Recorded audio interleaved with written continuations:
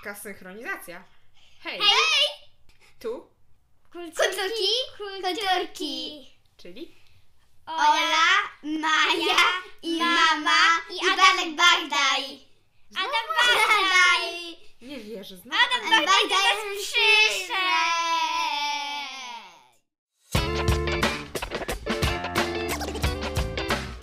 Kulturki, kulturki. Adam Bagdaj. Adam Bagdaj. To ja już powiem wam, jestem bardzo ciekawa, co ten Adam Bagdaj znowu do nas przyniósł. E, dzisiaj opowiem o, wam o książce Stawiam na tolka banana. Tolek Banan to jest jeden z bohaterów naszego dzieciństwa. Bum, batara, bum. Dobrze, to początek. Oprócz Maja nam takie jingle robi. e, oprócz książki był też serial, ale Ola nam opowie książce. Stawiam na Tolka Banana. Ja jestem ciekawa, kto to jest. Był ten Tolek Banan i w ogóle o co tam chodziło. Głównym bohaterem tam był chłopiec, który nazywał się Julek y, Seratowicz i on y, tam miał tatę, który, o, który właśnie w Paryżu y, pracował. Tam budował jakieś cukiernie i dostawał, i dostawał bardzo dużo kasy i ten i ta mama z tym Julkiem byli tacy trochę bogaci i oni i ta mama tam co sobotę zapraszała y, albo co niedzielę zapraszała różnych gości, to ten Julek wtedy się sam bawił. On był normalnie to wydawało mu się, że on jest takim mięczakiem. I poszedł pewnego raz do parku i ktoś y, oglądał sobie różne rzeczy, y, grających w tenisa, bo on potrafił grać w tenisa. Ale czy co, ten Julek to był ten Tolek? Bo ja... Nie, A, dobra, dobra. To opowiesz nam za chwilę. I e, nagle coś się stało, dlatego że stało się ciemno, ktoś mu zarzucił worek na głowę i wzięto go do, jakiego, e, do, do jakiegoś takiego domku i pomyślał sobie, wezmą sobie okup. A tam były dzieci, a tam siedziały dzieciaki. I tam był Czyli cy- porwały go dzieciaki? i tam był cygan, cegiełka i kareoka. E, tak, Kajoka. Kareoka. No i oni tam mieli taką, tworzyli taką bandę, taki, bandę taką, taki gang. Mhm. Ym, I on tam z nimi rozmawiał, co oni z nim zrobią. I on tak strasznie ich błagał, żeby go przyjęli do bandu, a ta kareoka, która była ich szefem, to mu powiedziała, że jest mięczakiem. Karioka, tak? Tak. A to jest jakaś dziewczyna? Czy Tak. Ona była, chłop? patrzcie, ona była jak ta dziewczyna z kapelusza za 100 tysięcy. Szefem gangu. Saskiej Kępy. No właśnie. A ona jak się... e, Ona jest dziewczyną jakąś? No tak, to była dziewczyna. Tak. I, I porwali, no i co? I porwali go i co się stało? Y, I on tam zamknęli go, żeby oni się naradzili, co z nim zrobić. I wtedy go przyłapał taki jeszcze malec z ich bandy, Filipek. I o- jego ulubione słowo to było muka. Muka. I on wystawił taki. Nie, on nie wiedział, że to, y, ten e, Juli, Julek Seratowicz nie wiedział, że to jest nieprawdziwy pistolet, ale on tak go nastraszył ręce do góry, a on tak jupi! E, No i, no i w końcu potem go przyjęli do gangu i w ten dzień, w który go mieli przyjmować do tego gangu, to zjawił się list i tam było napisane, że jeśli chcą, no to niech się stawią na boisku, ja- niech się stawią na boisku e, takim dużym tam stadionie e, i tam będzie Tolek Banan. Mhm. No i te, w ogóle to chcę by teraz powiedzieć, kto to jest ten Tolek Banan. To był tam taki taki chłopak, trochę starszy od nich i e, on tam była taka historia, że on tam znalazł jakieś milion złotych i zamiast wziąć je sobie i być bogatym, to prze, poprzesyłał je różnym taką, takim osobom niewidomym, niesłyszącym, takim... Czyli taki pomocny chłopak. Tak. I on potem u, uciekł ze swojego sierocińca i... Nie, to nie było sierociniec, to był chyba dom dziecka albo poprawczak.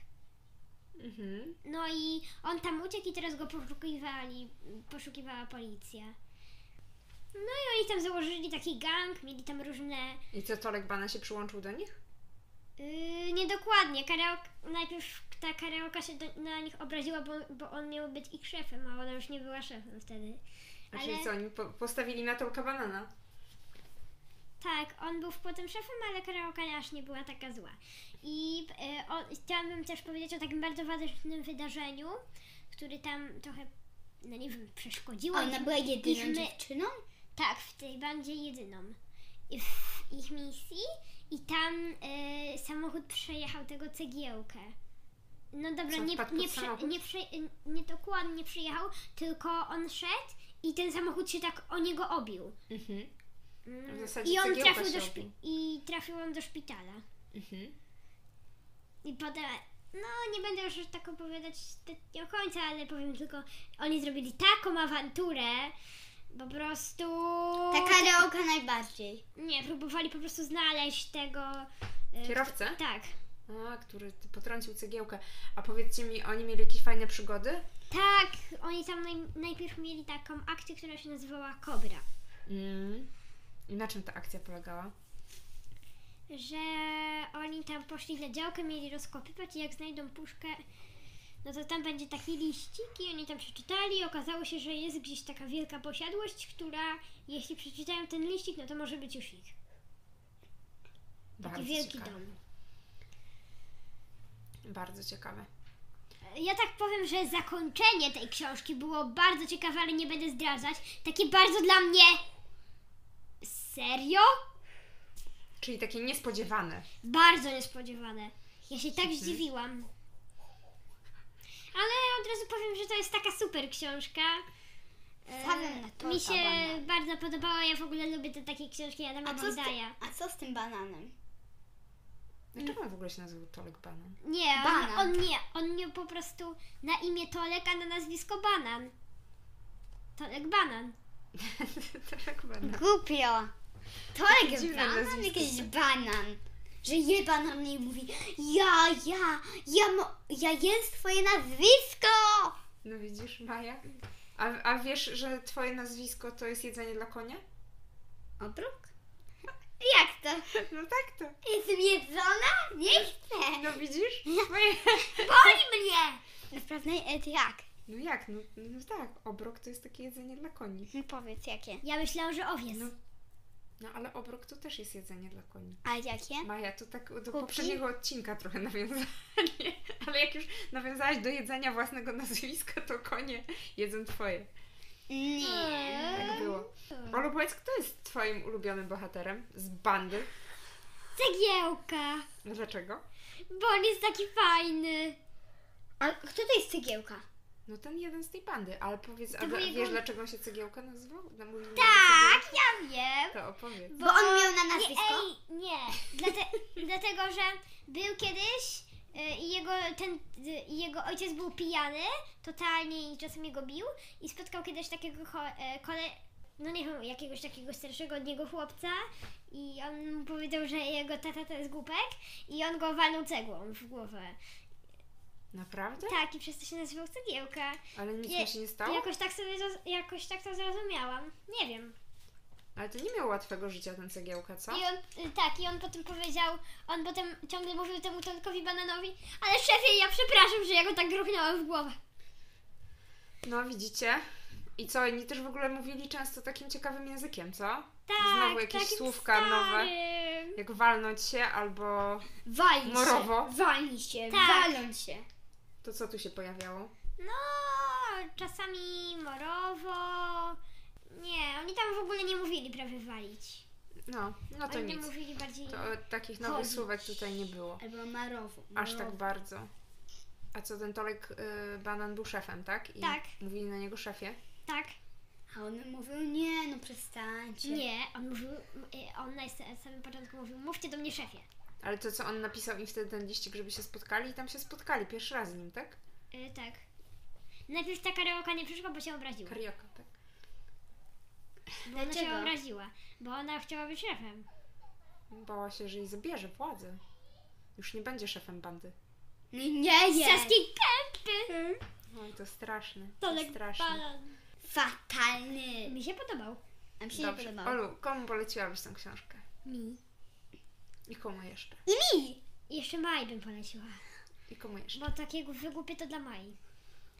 E, jeszcze poleciłabym to dzieciom około e, od 6 e, od 6 do 13 lat. Okej, czy już takie Trzynaste. nastolatki też mogą się dobrze bawić przy tej książce? Tak, jest super. Cegiełka. Cegiełka. A były jakieś takie historie, które było ciężko zrozumieć, bo, bo żyjesz w innych czasach? Mm, No. Trochę. Na przykład, że płacili bardzo dużo za takie, norma- że tak, za takie normalne szelki. Aha. Za takie szelki do wkładania. I co, w ogóle chodzili, nosili szelki? Kto teraz nosi szelki? Nikt. No, a kiedyś były takie z gumy szelki. Jak ci spadały spodnie, jak były trochę za duże i spadały, to się nie zakładało paska, tylko właśnie dzieciaki nosiły szelki. Ja pamiętam, że mój brat też nosił szelki. Szelki były niebezpieczne właśnie, bo jak szelka się odpięła, to tak strzelała, bo to było z gumy.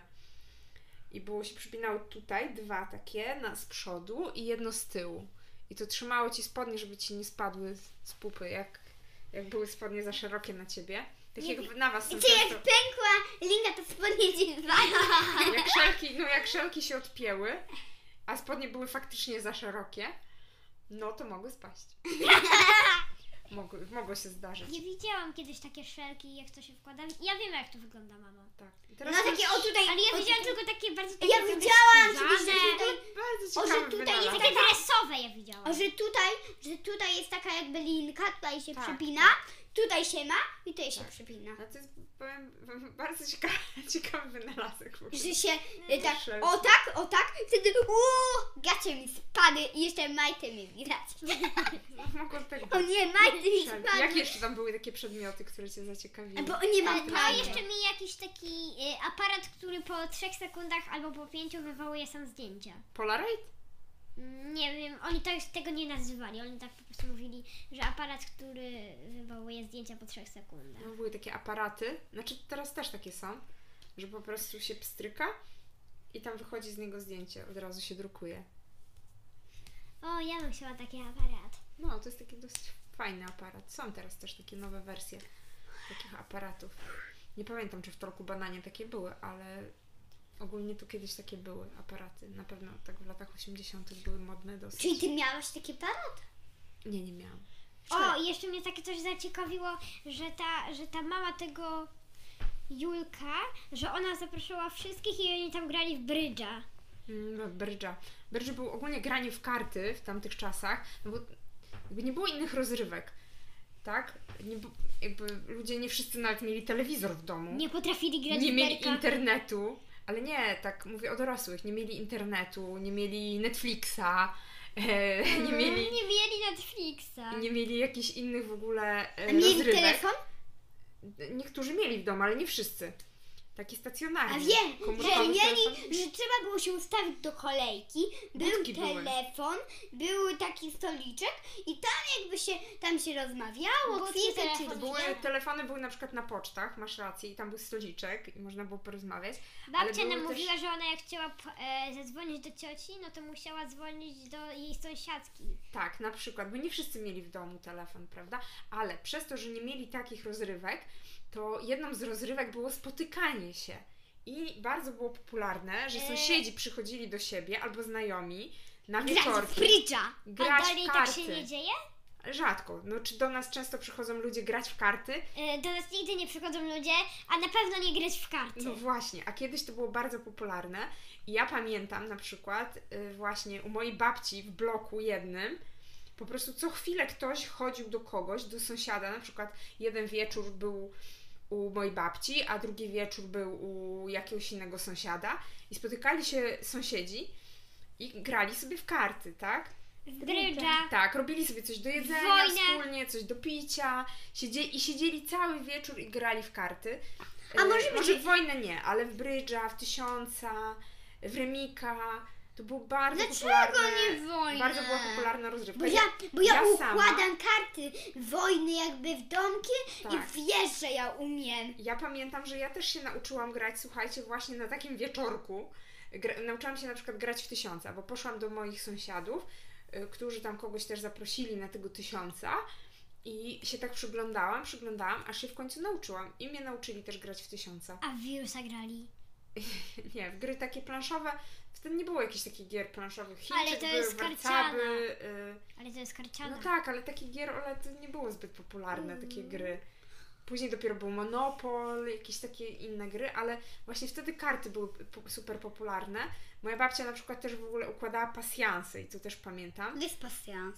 Ale też właśnie babcia Pasjans. bardzo dużo grała w karty, bardzo dużo się grało w karty, więc e, w graliśmy właśnie z babcią A w kapsle? remika. W kapsle też się grało, ale to na podwórku. A w domu, jak przychodziły się, przychodzili znajomi, to się grało często w karty. A w, ale są też takie jakby kosteczki, jakby takie, gdzie są jakby narysowane różne rzeczy i tam się gra.